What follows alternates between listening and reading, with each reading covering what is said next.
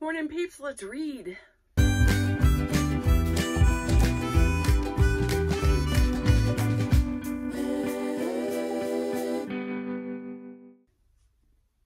This was written by Shirley Raye Redmond. The verse for today is Colossians 4 2. Devote yourselves to prayer, being watchful and thankful. Recently, I had an email from a former student. She'd sold her first story to a children's magazine and wanted to thank me for the help I'd given her when she'd taken my writing course years ago. I was delighted for Gillian. More than that, I was touched that she'd reached out to say thank you. Very few students do. I suppose it shouldn't surprise me. When Jesus healed ten lepers on his way to Jerusalem, only one of them turned to say thank you to him. One in ten.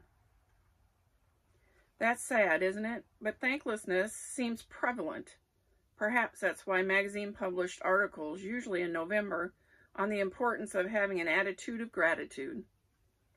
I've taken meals and disposable diapers to new mothers, delivered home-cooked cookies or flowers to shut-ins, and performed other acts of kindness without ever getting an email, text, or phone call to say thanks. I didn't do these things to be thanked. I did them because the Lord would have me to do so, to be salt and light in the world. Why are we so prone to take so much for granted? When my teenagers succumbed to grumbling or whining, I'd counter by asking them to share three things they were grateful for that day. Perhaps the attitude of gratitude is like a muscle that needs exercise to grow strong. I don't know.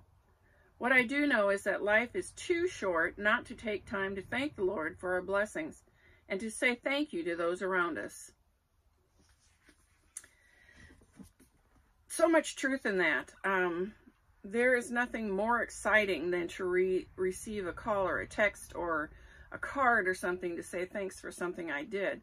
And I agree with her. It's not, I don't do anything to try to get accolades, but it's still so nice to receive those just to know somebody gives a care. I, I'm always beating myself up because I sometimes, I'm very late in getting stuff out to say thank you or I forget totally. And the older I get, the worse that is. But I want to remember and thank everybody, especially God. Thank him for what he's done for me. And sometimes I forget. I'm bringing up my list, peeps. Good morning, Heavenly Father. I am so grateful for you in my life and for your guidance and care and support. I know that I'm not always right there telling you what I feel, but I do. I feel thankful for you.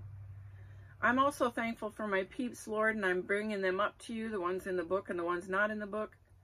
And I want to say thank you for each and every one of them. Give them your love as you've given to me. All this I pray in Jesus' name. Amen. That's it, peeps. I hope this finds you absolutely amazing. Stay blessed. Until next time. Hey, you made it to the end. Please hit like and subscribe, and thanks for watching.